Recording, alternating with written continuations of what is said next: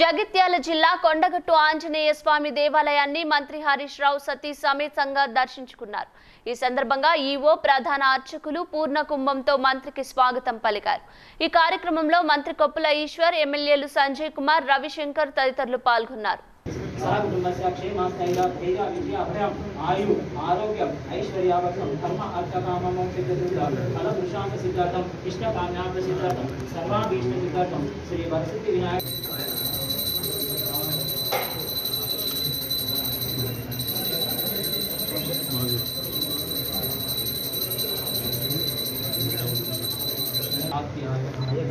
Please like and share, subscribe to BCN Telugu News.